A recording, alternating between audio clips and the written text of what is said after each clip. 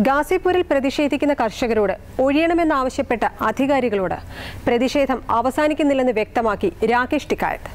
വളരെ വികാരാധീനനായാണ് ഭാരതീയ കിസാൻ യൂണിയൻ സംഘടനാ വക്താവായ അദ്ദേഹം കർഷകരോട് സംസാരിച്ചത്. ഗാസിപൂരിലെ പ്രതിഷേധവേദി ശൂന്യമാകുമെന്ന് പ്രതീക്ഷിച്ച സാഹചര്യത്തിൽ നിന്നും വിഭിന്നമായി.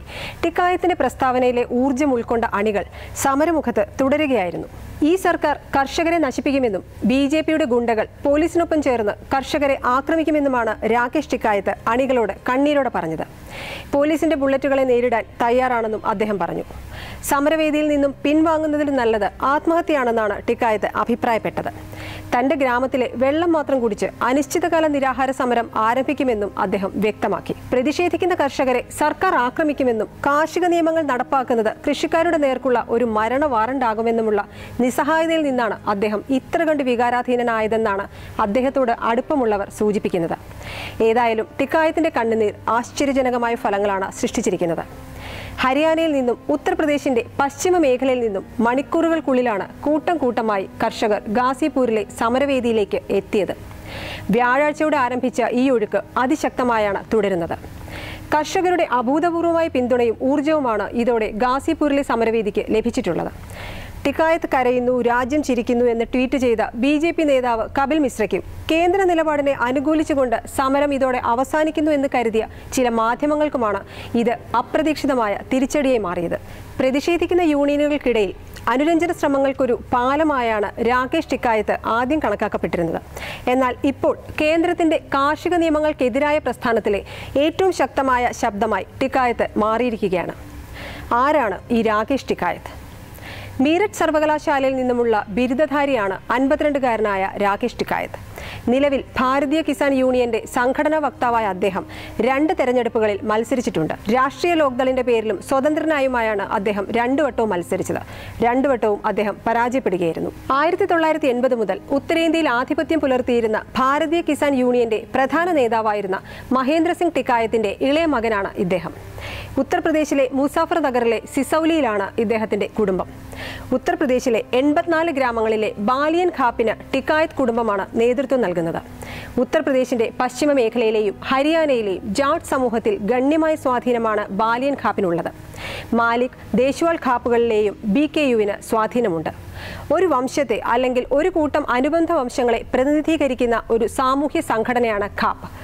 ഉത്തരേന്ത്യയിൽ ഇത്തരം ഖാപ്പുകൾക്ക് വലിയ സാമൂഹ്യ രാഷ്ട്രീയ പ്രസക്തിയാണ് ഉള്ളത്. പൊതുവായ സാമ്പത്തിക താൽപ്പര്യങ്ങൾ പങ്കുവച്ചിരുന്ന പശ്ചിമ യു പിയിലെ ഹിന്ദു മുസ്ലിം കർഷകർക്കിടയിൽ മഹേന്ദ്ര സിംഗ് ടിക്കായത്ത് ജനപ്രിയനായിരുന്നു. കർഷകരുടെ പ്രശ്നങ്ങളിൽ കേന്ദ്രത്തിനും സംസ്ഥാന സർക്കാരിനുമെതിരെ നിരവധി വിപുലമായ പ്രകടനങ്ങൾക്ക് നേതൃത്വം നൽകിയത് അദ്ദേഹമാണ്. അതുകൊണ്ട് തന്നെ അദ്ദേഹം ആ മേഖലയിലെ ഒരു പ്രധാന ഊർജ കേന്ദ്രവുമായിരുന്നു.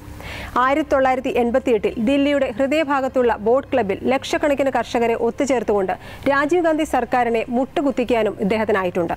ഇദ്ദേഹത്തിന്റെ നേതൃത്വത്തിൽ നടന്ന ഏറ്റവും വലിയ പ്രതിഷേധങ്ങളിൽ ഒന്നായിരുന്നു അത്.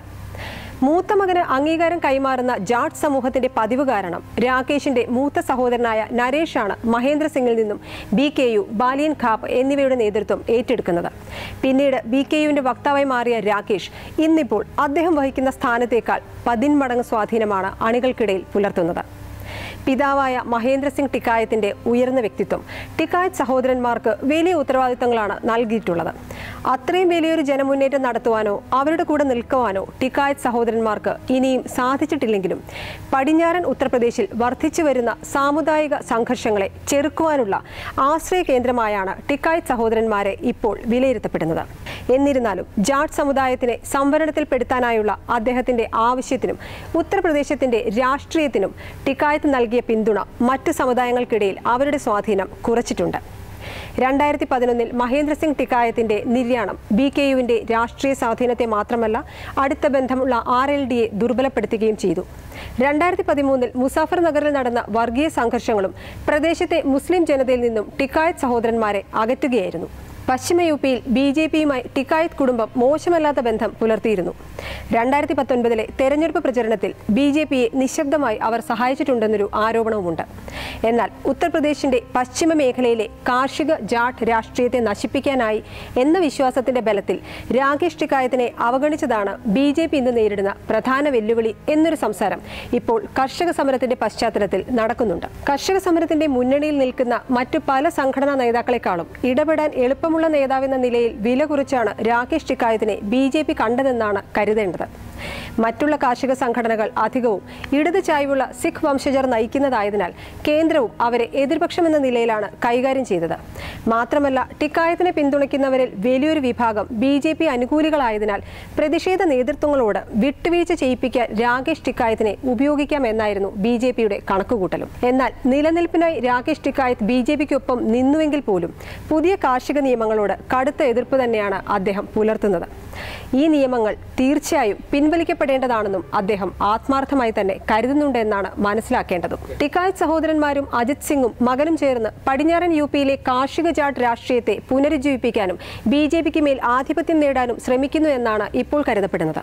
ടിക്കായത്തിന്റെ വികാരനിർഭരമായ പ്രസംഗത്തിന് ശേഷം ആദ്യം പ്രതികരിച്ച രാഷ്ട്രീയ നേതാവും അജിത് സിംഗ് ആയിരുന്നു. അതുകൊണ്ട് തന്നെ ബി ജെ പിക്ക് ലഭിക്കേണ്ട വലിയൊരു വിഭാഗം വോട്ടുകളാണ് രാകേഷ് ടിക്കായത്തിനെ പിണക്കുന്നതിലൂടെ പാർട്ടിക്ക് നഷ്ടപ്പെടാൻ പോകുന്നത്. ഏതായാലും നിയമങ്ങൾ മൂലം ജാട്ടുകൾക്കിടയിൽ ഉണ്ടായ പ്രതിഷേധത്തെയും ടിക്കായത്തിന്റെ സ്വാധീനത്തെയും വില കുറച്ച് കണ്ടത് കേന്ദ്രം ചെയ്ത അക്ഷന്തവ്യമായ തെറ്റായിട്ടാണ് ഇപ്പോൾ കണക്കുകൂട്ടപ്പെടുന്നത്.